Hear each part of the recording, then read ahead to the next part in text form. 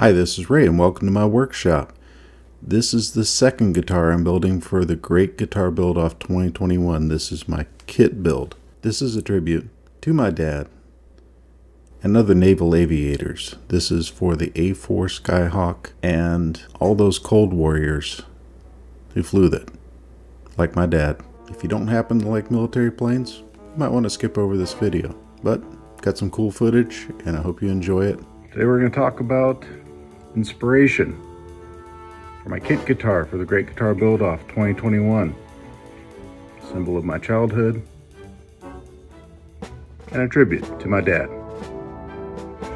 Stick around.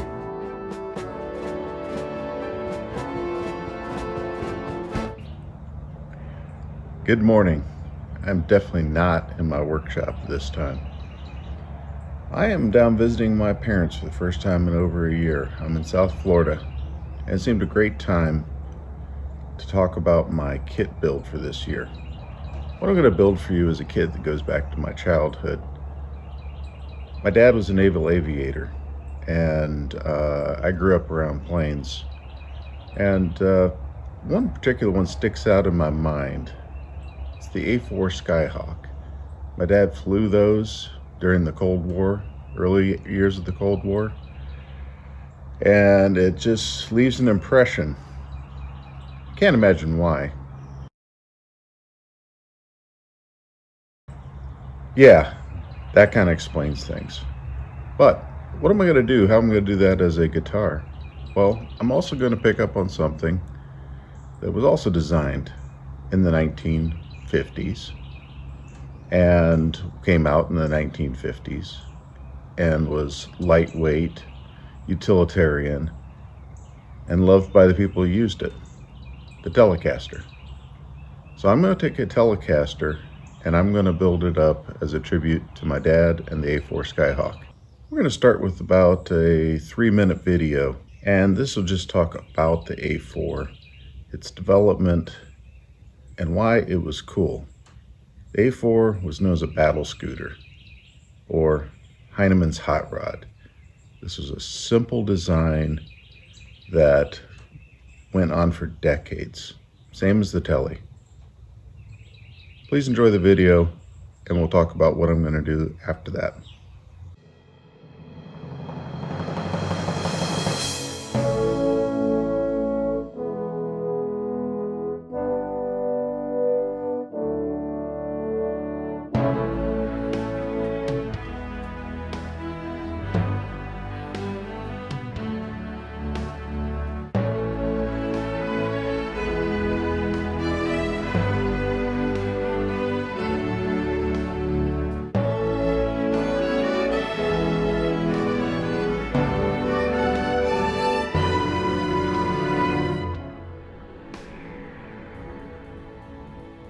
Bye.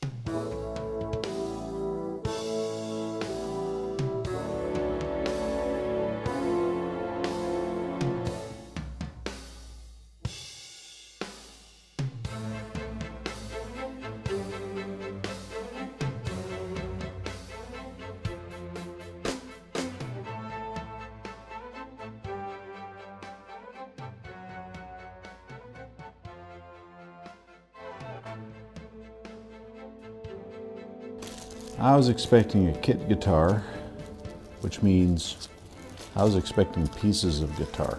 This is a StewMac T-style guitar kit. It was a little more expensive than the others, but I wanted to get some quality parts to start with. What you got here, practically a completed guitar. So yeah, this ought not be too hard. Got a lot of finishing work to do, which is what you might expect. It's just kind of rough sanded. Neck feels nice, uh, nice shape.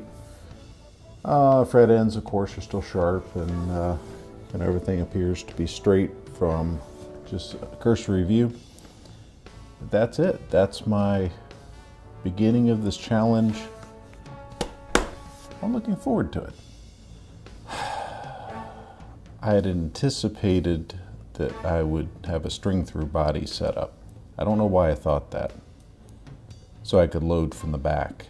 I'm gonna have to load from this end, which means the jet intake, which is supposed to be here, needs to be modified so I can get in here and load the strings. That'd be a bit of a challenge. Because a Skyhawk, side of an airplane, has a curve, I'm going to shape this body, give it a mild curvature this way, give it a nice smooth finish. Then I'm going to build up an intake here and bring it off like this.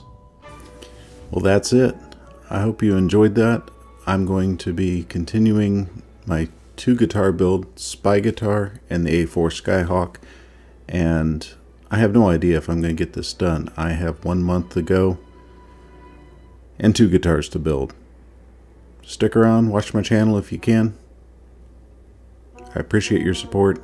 We'll see you soon. Stay safe. I almost forgot. Quick shout out to the guys at Texas Toast and Mike Learn, who's doing a nice series on airbrushing classic aircraft onto guitar bodies. I didn't take his class, I have to admit, at least subliminally, I was influenced by his work. So, shout out to you, Mr. Mike Learn, and Chris, and the other guy at Texas Toast. And as always, please click like, click subscribe, click the bell icon. Stick with my channel. Help keep this interesting and worth your time.